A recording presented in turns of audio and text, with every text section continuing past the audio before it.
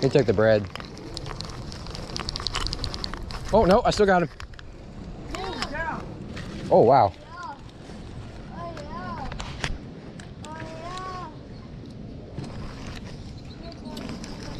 Oh, yeah. Come on.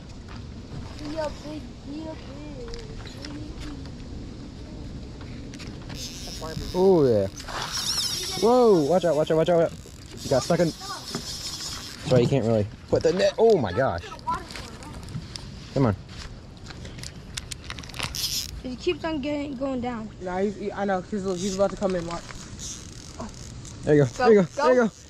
Yeah, let's go. Ah, that's a good one. Probably the biggest one the Barbie rod's ever caught. Pretty good on the Barbie rod. Two pounds, 15 ounces.